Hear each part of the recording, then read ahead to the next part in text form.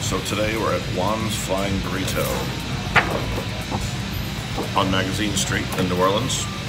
They have a pretty extensive menu of appetizers, chips, dips, dinners, entrees, pretty much anything you can order.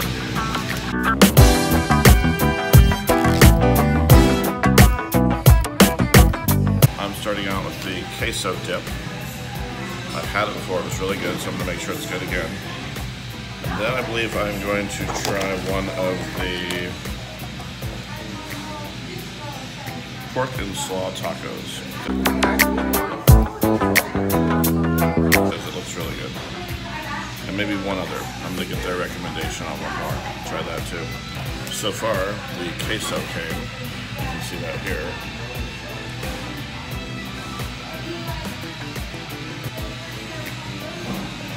So, looking flavorful.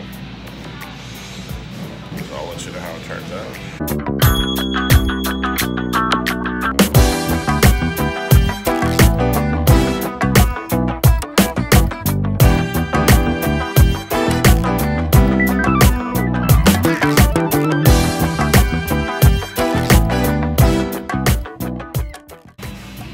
The dip's good. It's a little spicy, so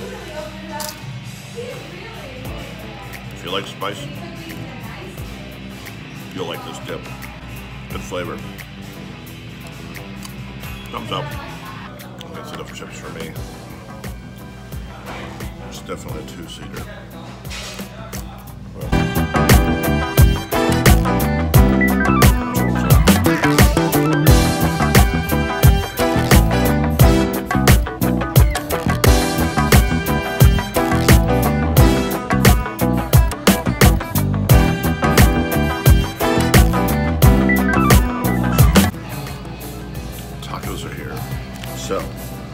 We're going to try the pork taco because it looks delicious.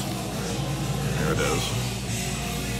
Looks like they simmer their meat. So it's not a traditional, it's obviously pulled pork. So, the slaw on top. See that too.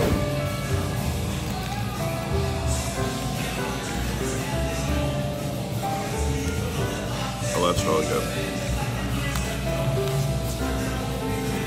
That's a lot of flavor. Great flavor. Tastes like they cooked the pork for about three weeks.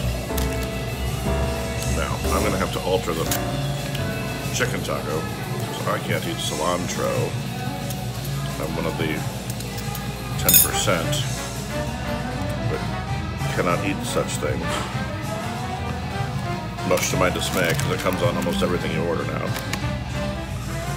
And then if I forget to say without it, then I have to pick it off. This is the pineapple chicken taco. Let's see there. Oh shit, dripping everywhere.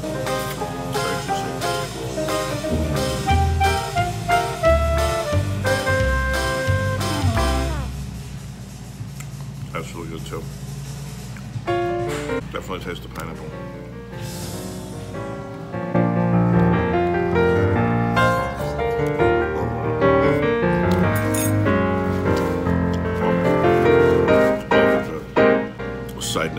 Chicken, very spicy, so be forewarned. Pork, not so much. Pretty much got all my food groups covered. Got corn, so vegetables. Got cheese, some dairy. And there's some jalapenos in here too, so that'd be a vegetable as well. And I'm sure these are fried in oil, so that should count for something.